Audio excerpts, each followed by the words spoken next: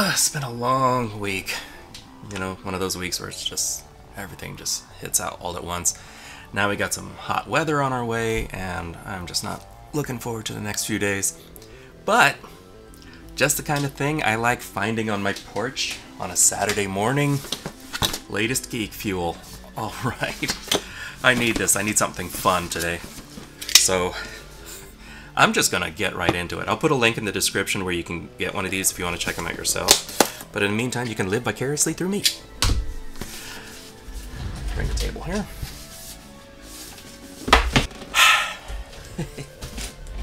Let's bring this here.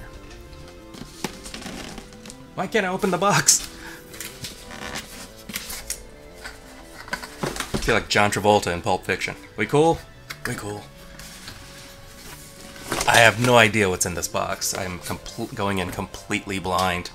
I didn't even spoil myself with the thumbnails of other videos who've re reviewed this already. So let's start with the first item. It is a Geek Fuel button based on Teen Wolf. God, I haven't seen Teen Wolf in ages. And this was right at the time, right after Back to the Future, where I became one of Michael J. Fox's biggest fans. He was my hero in the 80s. One of them. One of my heroes. So that's cool. You get two buttons this time. Usually Geek Fuel just gives you one, but now I have two. Um, I'm not a big button guy, but I'm, my daughter might enjoy these. Oh.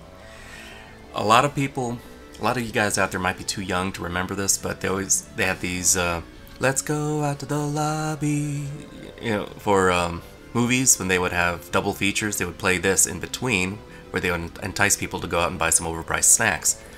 And have these animated cartoon characters. This this is fun. I, it takes me back. And this is the spoiler card, so I'm not going to look in the inside yet. Nothing on the back, really. Oh, I, I can already see there's some cool things in here. What is this? Leonardo Ninja Turtle. I'm more of a Raphael guy, but Leonardo's cool. Blue is my favorite color. He has two swords and a slice of pizza. You can't go wrong there. Another sticker. Be excellent to each other. I think that's something we could all remember these days. I should stick this on my bumper. Alright, there's something... Alright, let's see what this is. Phone. Ah! It's the shirt. Speaking of Bill and Ted, I still have to watch that. I haven't seen the remake yet. Or not the remake, the sequel. Yes! I love this. When I first saw the commercial for this thing, I thought, this movie looks stupid. It looks... And then I watched it, and I never stopped laughing through the entire thing. It turned into one of my favorite movies. What else we got here? Something big. There's something big in here. A puzzle! Tell what that is. It looks like a treasure map. Yeah, it looks like a treasure map or something. That's, that's kind of cool. I haven't done a puzzle in a while, but this could be fun to do with the family. You know, a dirty trick to play on somebody. Give them a puzzle for a present, but hide one of the pieces. They will hate you. Oh, that's it. I think, as usual, my favorite part is the shirt. As you can see, I'm a fan of the shirts.